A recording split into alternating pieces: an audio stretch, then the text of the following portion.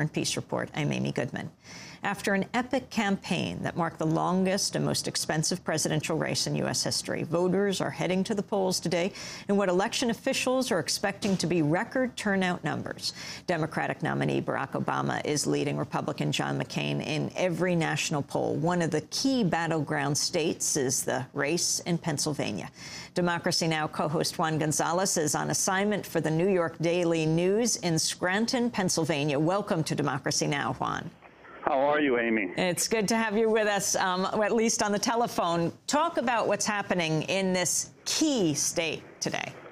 Yeah, well, the polls in Scranton opened at uh, at 7 a.m. and uh, in in one polling place here in uh, uh, in the Green Ridge section of Scranton, where I am, there were about 20 people online. Uh, unusual uh, for um, uh, for this uh, voting place, uh, but not a huge uh, turnout. And uh, uh, the, the Scranton is is really the one of the battlegrounds in this battleground state. Obviously, John McCain has has basically said he's got to win. He's got to win Pennsylvania if he has any hope uh, of winning this election. And Scranton is a town uh, about 92% white that has voted Democratic in the past. It went 56% for John Kerry in 2004. Uh, but many uh, suspect that this is really the sort of the, the Hillary Clinton uh, uh, Democratic blue collar voters, and the, the, real question as to whether Obama can can match that. If he doesn't uh, match Kerry, get close to it,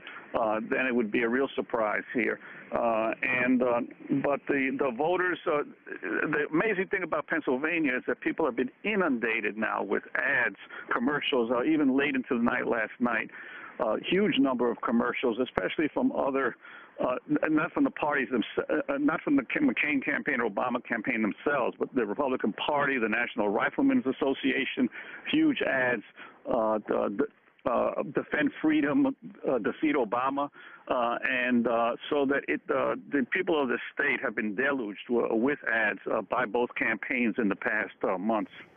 Juan, you worked at the Philadelphia Daily News for years. Um, can you talk about the changes you've seen and what's, what area Scranton represents, why you're focused on Scranton? Well, because Scranton is, I mean, in Philadelphia, it's expected that there will be a huge turnout uh, for uh, uh, for uh, Barack Obama. The main concern there, obviously, Philadelphia has a long history of machine breakdowns and problems uh, on election day with voters being able to to vote.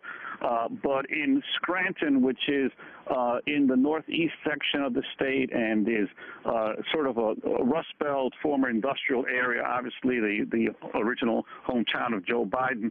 Uh, it is it has long been a Democratic bastion, but again, because it is so overwhelmingly white and because there have been problems with racism in this part of Pennsylvania in the past, there is a concern that many of those Democratic voters will not uh, vote for uh, Barack Obama.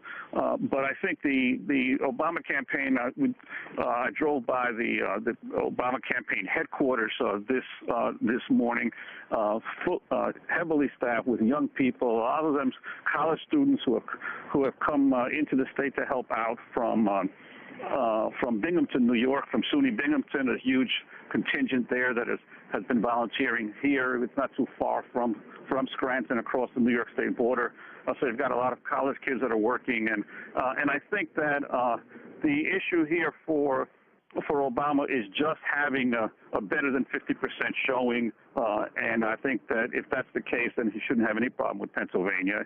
Uh, if there is a big turn against him in Scranton, it could be a, a problem throughout the rest of the state, but reflect the problem throughout the rest of the state. Not that New York is a swing state. I know you'll be coming back here, Juan, to vote, but I went to my polling place this morning at around 5.30 in the morning. It's supposed to open at 6. At around 6.15, 6.20, uh, one of the election people came outside and said, we don't have the key for the machines. So everyone got very agitated. There were hundreds of people online already um, at 6 o'clock. By the time I left, left, great confusion inside. We use the old-fashioned lever machines. It may be the last time. I think they're called the Shoups. Um, the Shoup machine. The Shoup machine. Uh, by the time I left, it was longer than a city block, the line, around, oh, quarter to seven. I mean, I've never seen this many people trying to vote. Uh, yeah, well, they said again here. This is Scranton is not a, a, a very big city, and uh, so they don't expect to have uh, problems with uh, with lack of machines. I mean, in this polling place alone, there must be about uh, eight machines. They're using the optical scan machines here. The sec- I think the second major election they're using optical scan machines, uh, and everything seems to be operating smoothly. But in the big cities, yes, if the election officials do not prepare and have enough machines and enough poll workers, there are going to be major problems uh, in places like Philadelphia and New York uh, uh, and, and some of the other big cities. Well, Juan, thanks for joining us, and I look forward to seeing you tonight when uh, Democracy Now! gathers once again here at the 100-year-old firehouse, this landmark building, broadcasting a five-hour special on this election night, on this night uh, that will be clearly historic, um, whatever happens all over this country. And want to let our viewers and listeners... Hopefully. Yeah, I hope that you're done um, and that you're back safely from Scranton. I want to let our listeners and viewers know you can come here to democracynow.org. We'll be uh, video streaming, and you can find out at your station, your public radio and television station, if they'll be running this broadcast. Tomorrow we'll be running an expanded two-hour broadcast uh, in the morning, 8 to 10 Eastern Standard Time. Tonight, 7 to midnight Eastern Standard Time. Uh, lots of people will be in and out of the studio as we uh, look at, talk to people around the country. We'll be looking at obstacles to voting and the record number of people who have voted. We'll be getting response from all the key states, and we'll be getting response around the globe. This is Democracy Now!, democracynow.org, The War and Peace Report. As we continue to look at this record number of voters heading to the polls today, we're going to look now at some of the 153 initiatives on ballots in 36 states.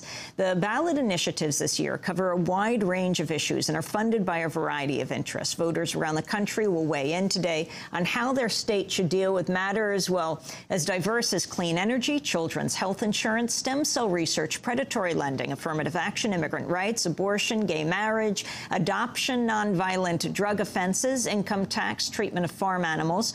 Kristina Wilfore is with us now. She's the executive director of the Ballot Initiative Strategy Center that tracks ballot initiatives across the country and supports progressive ballot initiative campaigns. She joins me on the phone from, well, are you voting right now, Kristina? Luckily, I just got out of there. The polls opened here in Washington, D.C. I'm on Capitol Hill at 7. There was already about 200 people in line at 710. And uh, luckily, they pulled the T through Z's um, ahead, so I was able to skirt much of that. But it's going to be a long day here in the district. Well, why don't you uh, talk about what you see as some of the key ballot initiatives? There's so much focus on the presidential race that I think when people um, go to their polling precinct and they look at the polling machine and they see a ballot initiative on it, some will not even know what it's about. Mm-hmm. Yeah, it certainly, especially this year, gets a little lost in some of the things that are of you know more dominance. It's it's fascinating, especially in the last week. You see more coverage related to some of the more eclectic and controversial kinds of issues around animal rights or the drug reform or criminal justice issues, and those are an annual part of the ballot.